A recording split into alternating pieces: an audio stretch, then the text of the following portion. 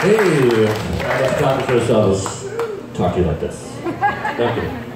Uh, if you change the way you look at things, the things you look at change.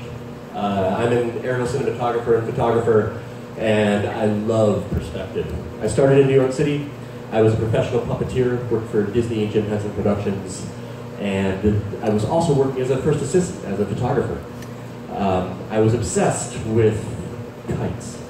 Um, somehow marionettes, strings, kites, all this started converging in the photo studio at one moment, and I Google searched photos of kites and came to kite photos, and it was called CAP, Kite Aerial Photography. It blew my mind. Uh, it, it, encompassed everything from technology to art, science.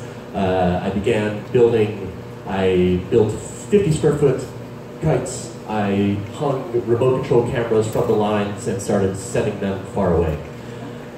We were traveling, uh, met a geologist. He wanted me to shoot something in the jungle, and I said, the wind doesn't blow. then there was a problem, and then that was like a decade ago. Um, that's when I started researching how do we get aerial perspective without the wind.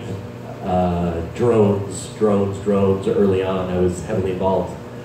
Uh, somehow I got out here chasing my family, and now we do very high-end cinematography. Uh, photography carrying very large frame cameras, uh, and we travel all over the country trying to do that.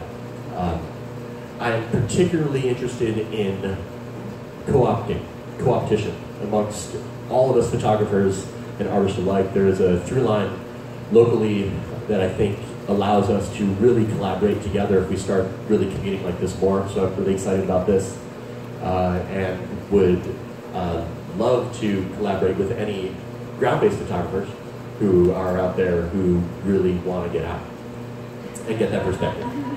Um, and uh, that's my lightning speed round, and thank you very much.